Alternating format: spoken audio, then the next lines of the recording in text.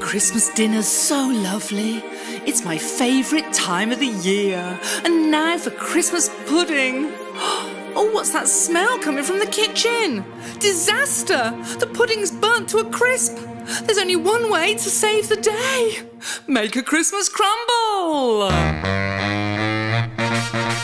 Everybody's good at cooking something, and I'm good at Christmas crumble.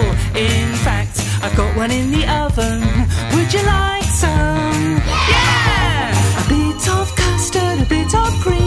Remind you of your best dream. Anything you want with it, anything you like. But if you don't tell me soon, I'll be off on my bike. I'll be off on my bike. Everybody's good at cooking something, and I'm good at Christmas crumble. In fact, I've got one in the oven. Would you like